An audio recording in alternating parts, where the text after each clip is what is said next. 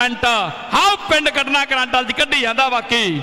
ਆਓ, ਉਹ ਸੰਗਰੂਰ ਵਾਲਿਓ, ਕਰੰਟ ਤੁਹਾਨੂੰ ਵੀ ਕੱਢਣਾ ਪੈਣਾ ਕਰੰਟ ਤੁਹਾਨੂੰ ਵੀ ਕੱਢਣਾ ਪੈਣਾ। ਇੱਧਰ ਥੋੜਾ ਭਾਈ ਫੜਿਆ ਆਓ ਜੱਫਾ ਲਾਉਣਾ ਪੈਣਾ। ਜੇ ਕਹਿੰਦੇ ਕ੍ਰਿਕਟ ਦਾ ਮੈਚ ਫਸ ਜਾਂਦਾ ਉਹ ਛੱਕਾ ਲਾਉਣਾ ਪੈਂਦਾ ਨਹੀਂ ਫਿਰ ਜੱਫਾ ਲਾਉਣਾ ਪੈਂਦਾ। ਆਓ ਵੇਖੋ ਆਓ ਵੇਖੋ ਆਓ ਵੇਖੋ। ਮੈਦਾਨ ਦੇ ਵਿੱਚ ਟੱਕਰ ਟੱਕਰ ਟੱਕਰ ਟੱਕਰ ਟੱਕਰ ਟੱਕਰ। ਆਓ ਜਾਂਦਾ ਮੁੰਡਾ ਇਹ ਹੋਇਆ। ਪੈਂਦੀ ਰੇਡ ਕੰਤੀ ਜੀ ਕਰੋ ਗੱਲ ਹਾਂਜੀ ਇੱਕ ਪਹਿਲਾ ਪੁਆਇੰਟ ਸੀ ਉਹਦੇ ਰਿਵਿਊ ਮੰਗਿਆ ਗਿਆ ਟੀਮ ਨੇ ਜਿਹੜਾ ਸੰਗਰੂਰ ਸਟਾਰ ਦੀ ਟੀਮ ਨੇ। ਕਿਉਂਕਿ ਉਹ ਰਿਵਿਊ ਉਹ ਤਾਂ ਭਾਗੇ ਜੀ। ਉਧਰੋਂ ਇਸ਼ਾਰਾ ਆਇਆ ਸੀਗਾ ਨਹੀਂ ਠੀਕ ਹੈ ਜੀ ਨਹੀਂ ਮੰਗਿਆ ਬਾਈ ਜੀ। ਪਲੀਜ਼ ਬੇਨਤੀ ਆ ਜਾਓ ਕਾਲੇ। ਚੈਨੇ ਵਰਗੇ ਭਾਗੇ ਸੀ ਉਧਰ ਪਰ ਕਿਉਂਕਿ ਸਭ ਤੁਹਾਡੇ ਨਾਲ ਹੀ ਆ ਸਾਰਿਆਂ ਦੇ। ਜਿਵੇਂ ਤੁਸੀਂ ਕਹੋਗੇ ਕਿਉਂਕਿ ਤੁਹਾਡੇ ਨਾਲ ਹੀ ਆ।